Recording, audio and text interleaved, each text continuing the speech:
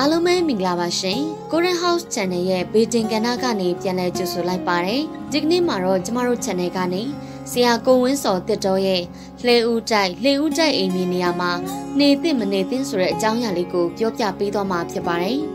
မြမရိုးရာထုံးတဲ့အစင်လာနီးမှာရောဖုံးရွှေပညာမှာရောအပြောများတဲ့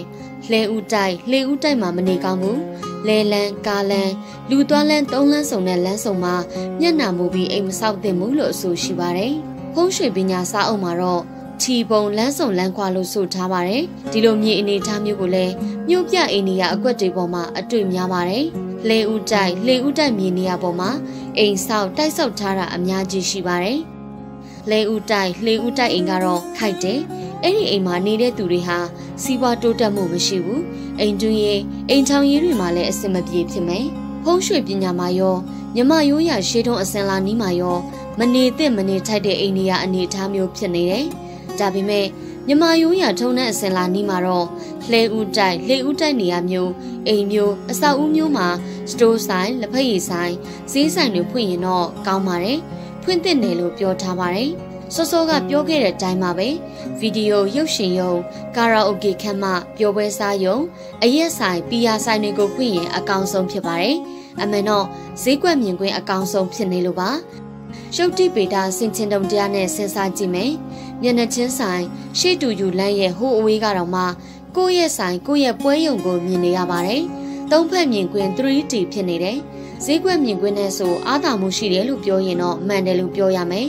လူနေရင်ခိုက်တယ်ဆိုတာကိုပြန်စဉ်းစားကြည့်ပါ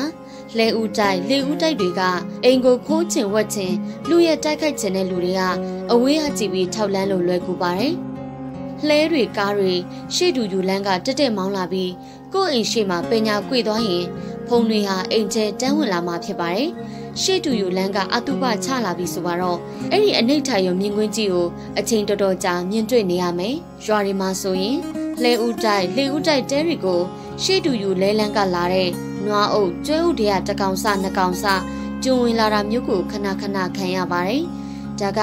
ရုတ်တိပေတာဆင်ချင်တုံတရားနဲ့လဲဦးတိုက်လေဦးတိုက်မှာမနေကောင်းဘူးအိမ်မဆောက်သင့်ဘူးလို့ပြောတာဖြစ်ပါတယ်။ဒါပေမဲ့ဒီလိုလဲဦးတိုက်လေဦးတိုက်နေရမျိုးမှာအိမ်ဆောက်မိပြီအိမ်ဆောက်ထားပြီဆိုရင်တော့ဘလို့ကာကွယ်ကြမလဲ။ဒါကလွယ်ပါတယ်။ဒကမကြီးကိုလမ်းနဲ့တက်တဲ့နေရာကပြောင်းပေးလိုက်ရပါမယ်။ ဒီနီလန်းထက်ပိုကောင်းတာကတော့တကားရဲ့အပေါ်ဖက်အိမ်အဝင်းဝတကားရဲ့အပေါ်ဖက်မှာမှန်တစ်ချက်ကာထားပြီးချိတ်ဆွဲထားရပါမယ်။လဲဦးတိုက်လေဦးတိုက်အိမ်တွေမှာ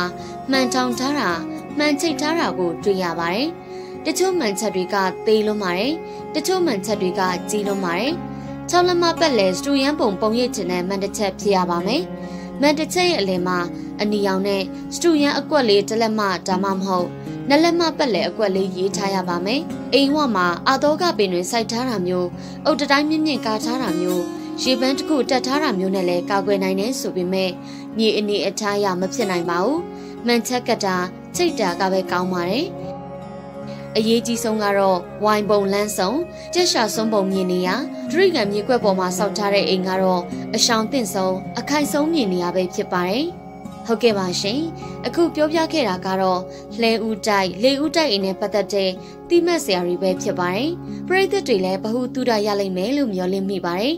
အားလုံးကိုလည်းကျေးဇူးအများကြီးတင်ပါတယ်ရှင်